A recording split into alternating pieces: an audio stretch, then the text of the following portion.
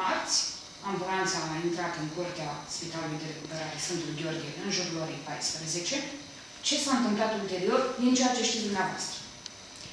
Uh, nu știu dacă aș putea să vă spun în prea mănunte aceste lucruri, pentru că au fost implicați mai mulți colegi de mei.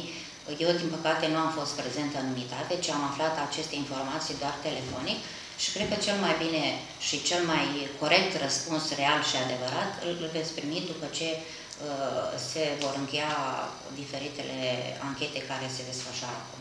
Cine desfășoară ancheta în momentul de față? Deocamdată, uh, Direcția de Sănătate Publică, Veți sesiza la focurile superioare? autosesizare.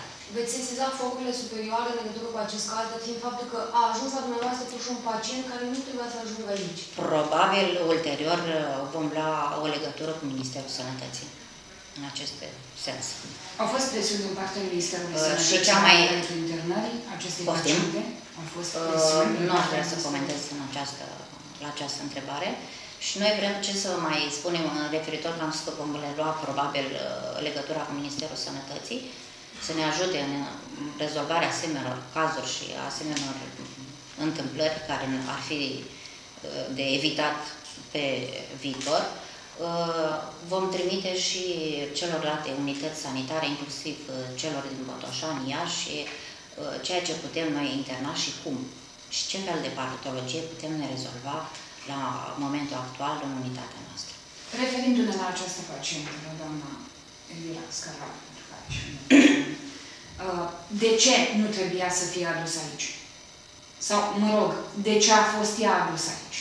Nu știu dacă răspunsul ține numai de mine ca director medical.